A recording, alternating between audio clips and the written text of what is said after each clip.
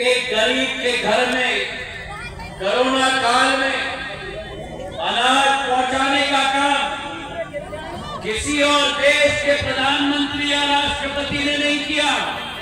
अगर किसी ने किया तो केवल प्रधानमंत्री नरेंद्र मोदी जी ने किया, मेरे भाइयों ने। देश के 80 करोड़ लोगों के घर में मुफ़्त में अनाज पहुँचाने का कार्य, ताकि देश कोई भी व्यक्ति खाली पेट कभी रात में सो न पाए, उसका पेट के लिए अनाज भेजने का काम प्रधानमंत्री ने किया। अस्सी करोड़ लोग पूरे देश में आज भी उसी अनाज गरीब कल्याण अन्न योजना के आधार पर आज भी उनके घर में अनाज पहुँचाया जा रहा है।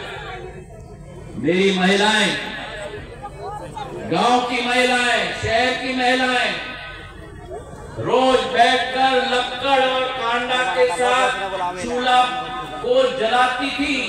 खाना पकाने के लिए जाने या अनजाने में दो पैकेट सिगरेट फेफड़ों में जाता है जब आप उस चूल्हे को फूकती हो। देश का एक ही प्रधानमंत्री ने इन महिलाओं के बारे में सोचा।